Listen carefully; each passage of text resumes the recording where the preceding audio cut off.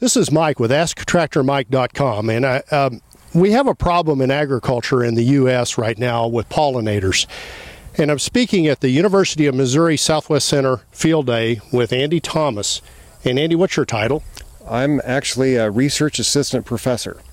And you're talking today to folks in attendance at this field day about pollinators. Tell us about our problem. Well, uh, the majority of our foods probably the majority are produced, they have to be pollinated by insects. Uh, not all of our food, but a lot of them. And the honeybees have really declined in the last several years. There's a lot of problems with honeybees.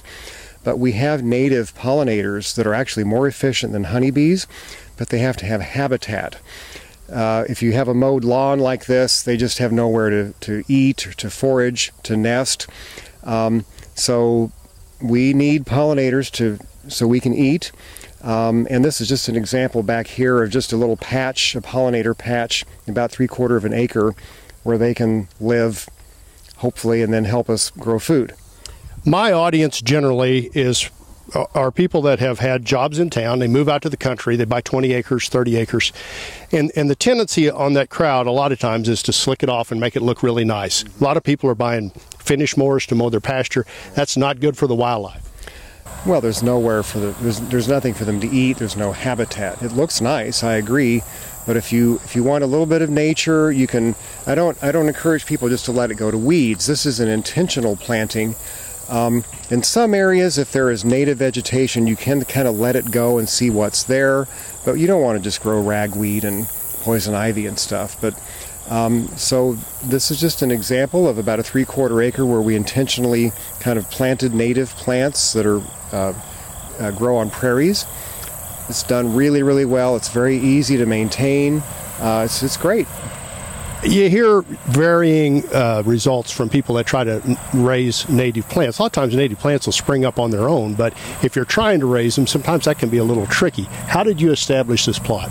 Well, this is the easiest way to do it for, for this kind of thing. It's different if you're trying to have a garden or a landscaping. This is just a kind of a wild planting. We literally, uh, I spent a summer where I sprayed out the grass. So we round up to about three times to kill the Bermuda grass and fescue that was here.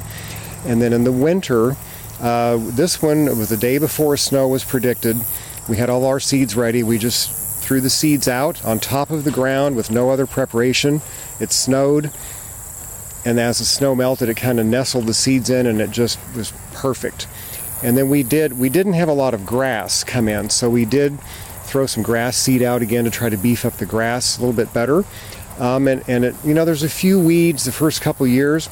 The first few years, the black-eyed Susans really, really grow, and they're beautiful. And then they kind of eventually die down, and the more permanent stuff kind of comes in and really takes hold. So this is about eight, nine years old, and it's it's kind of achieved a balance, I would say, and we I still may want to try to put more diverse species in here, but it's it's doing great. It's mostly wildflowers. I don't see really. There's maybe a few weeds in there, but mostly. Uh, it, now, it, are you tending this on a regular basis, or is it do its own thing? It needs very little maintenance. There, there was a mulberry tree that I sprayed the other day. Birds do bring in some weeds, but it's actually so vigorous that not a lot of weeds can get a excuse me can get a hold here. Um, there's a little ragweed, but ragweed's okay. Wildlife like it. Um, a little bit of poison ivy birds brought in, and there's a, there's a little bit of sumac and pokeweed, which I don't mind. I don't want those to get out of control. Uh, we burn it or brush hog it once a year in the winter, and that pretty well is all we have to do. So I do kind of just watch for any weeds. Uh, you kind of learn ragweed. I don't. It's not going to hurt anything. Uh, cherry trees, mulberries, you want to kind of keep out. So, how big an impact will this little patch here? And and what I want to tell my folks is, if you've got a place on your farm, on your acreage, uh, that you could spare for this type of thing, uh, how big a difference will this make to the pollination of apples and pumpkins and everything else that we grow? Well, I don't know, but I, I would think this would have enough pollinators easily for uh, you know a small backyard orchard and pumpkins and apples. There, there's a lot of bees in there. It attracts all different species of bees. Um, I don't have a real good answer. I mean, but I, th- I think it would make an impact. If you walk through the path you've cut, you see bees everywhere, so that's got to be a good thing. Good, great. Yeah, th- this time of year they're really busy. So yeah, they're it's a great little just paradise for insects and bees and dragonflies, birds are in here. It's just amazing. And if I wanted help on my acreage establishing something like this, uh, uh, a, a university? Yes, I mean the university is pretty lean these days, but yes, uh, call me. Also, the Missouri Prairie Foundation would be a good one to contact, um, and also some seed companies. Hamilton uh, Seed Company, Missouri Wildflowers Nursery specialize in putting together seed packages for this kind of thing, and I really they're great folks. I'd really support them, um, and they have they would be probably better. They would know how much seeds you need per acre or per half acre and the right seed mix. They are trying to sell you seeds, but my experience with the native people, they, they're also really wanting this to be more prevalent in the state. There's a little bit of an idealistic side to them. They're not just trying to load you up with seed. Absolutely, yeah. So, yeah, they're, they're good folks. And there's other businesses as well, but those are kind of the main two.